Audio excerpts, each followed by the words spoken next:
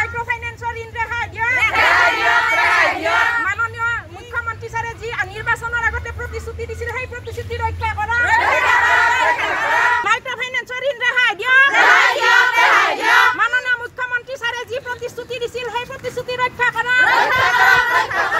মাননীয় মুখ্যমন্ত্ৰী ছাৰে যি প্ৰতিশ্ৰুতি দিছিল সেই প্ৰতিশ্ৰুতি ৰক্ষা কৰা ছাৰক শত সহস্ৰ প্ৰণাম জনাইছোঁ।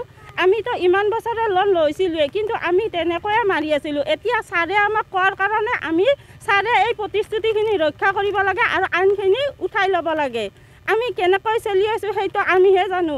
ইমান দিনে লকডাউন হ'ল কিন্তু আমাৰ কেনেকৈ চলি আছোঁ আমি সেই দুৰ্দশাত আমি ভুগি আছোঁ। আমাৰ ল'ৰা ছোৱালী কেনেকৈ খাইছে কেনেকৈ কি কৰিছে আমি কেনেকৈ চলি আছোঁ সেই জ্বালা যন্ত্ৰণা আমি পোৱাই আছোঁ। সেইকাৰণে চি এম ছাৰক মই শত সহস্ৰ প্ৰণাম জনাইছোঁ এই চৰ্তবিলাক উঠাই লওক আৰু ছাৰে আমাৰ ঋণখিনি মাফ কৰি দিয়ক। সেয়ে মই ছাৰৰ ওচৰত প্ৰাৰ্থনা জনাইছোঁ।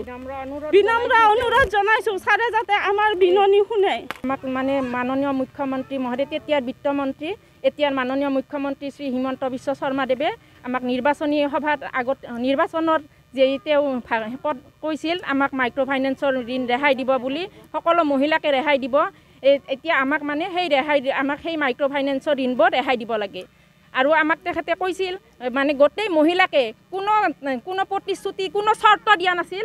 এইখিনি কথাত এতিয়া তেওঁলোকে এটা চৰ্ত সাতটাকৈ চৰ্ত দিছে। সেই সাতটা চৰ্ত আমি কোনো পধ্যে মানি ল'ব নোৱাৰোঁ আৰু আমি মানি নলওঁ।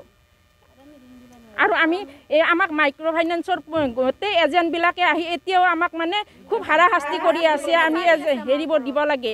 এতিয়া আমি কেনেকৈ দিওঁ? চাওক যোৱা বছৰ লকডাউন হ'ল এতিয়া এইবাৰ লকডাউন আমি এনে ক্ষুদ্ৰ ক্ষুদ্ৰ ব্যৱসায় কৰি কোনোমতে আমি চলি আছোঁ। কোনোবাই হাজিৰা কৰে কোনোবাই গো পালন কৰিছে কোনোবাই গাহৰি পুহিছে এতিয়া গো পালন কৰিছোঁ। আমি গাখীৰ গাখীৰ আছে গাখীৰ কিন্তু বিকিবলৈ কোনো এখন বজাৰ নাই। এতিয়া আমাৰ গাঁৱলীয়া মানুহ মানুহখিনিও গাখীৰ কিনি নাখায়। আমি তেতিয়া তেনেকুৱা স্থলত আমি কেনেকৈ এই কিস্তিবোৰ মাৰোঁ? আৰু আমি এতিয়া আমাৰ নিজৰ খোৱাৰ কথাই চিন্তা কৰোঁ নে ল'ৰা ছোৱালীৰ কথাই চিন্তা কৰোঁ নে আমি কিস্তি দিয়াৰ কথাই চিন্তা কৰিম? ভাবক আপোনালোকে। আমি কেনেকুৱা এটা পৰিস্থিতিত চলি আছোঁ।